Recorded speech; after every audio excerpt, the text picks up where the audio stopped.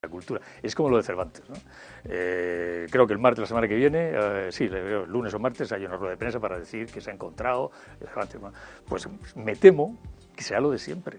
O sea, enseñarán el, fémur de Cervantes o lo que quieran, harán la foto, el alcalde, la alcaldesa, el, no sé, el ministro, los que les toque ahí está la foto tal de Cervantes, nosotros, tal, la cultura, y al día siguiente se olvidará, como está olvidado 300 a 400 años, y todo el mundo volverá. Ese, barrio es ese barrio es un barrio. El barrio de las letras. Explica muy bien. Ahí estuvieron todos Lope, Calderón, Quevedo, Cervantes, el mexicano Ruiz de Alarcón, todo, ahí se forjó la lengua castellana, también llamada española en América. ¿no? Debía de ser un lugar de peregrinaje internacional. Si eso fuera inglés o francés, estaría lleno de librerías, de museos, autobuses con turistas. Ahora ves de vez en cuando algún profesor, esos héroes, esos hombres buenos, o profesora, ¿no? con sus alumnos allí por la calle, aquí, Cervantes, tal, y te enternece ver que aún queda gente buena que intenta hacer eso. Bueno, eso en España ese barrio es un barrio absolutamente desprovisto de todo. ¿no? Pues estoy seguro de que una vez se haya hecho la foto de telediario o, eh, de, periódico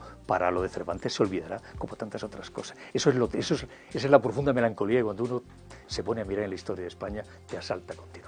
Pero hay algún optimismo en, sí. en este sentido. No, este fíjate, eh, yo, soy, yo, soy pesimista por lo general, porque también es verdad que mi biografía no me invita al optimismo. Viví 21 años en países en guerra, soy un tipo que lee, tiene biblioteca, en fin, conozco la historia de España, leo, sobre todo historia y literatura, sobre todo historia, me gusta mucho. Y bueno, y digamos que conozco un poco los mecanismos que nos han tenido hasta aquí. Entonces, eso no invita, como dice uno de mis personajes en El Capitán de la Triste, ser lúcido y español siempre aparejó mucha amargura. Y es verdad, la lucidez en España es muy triste porque ves cosas que querrías incluso no ver.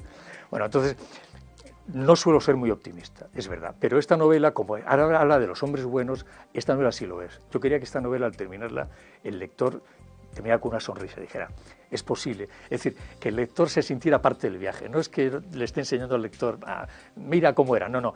Ven conmigo, ven con ellos. Viaja con estos dos hombres buenos a París por la enciclopedia, vive sus aventuras, sé el tercero del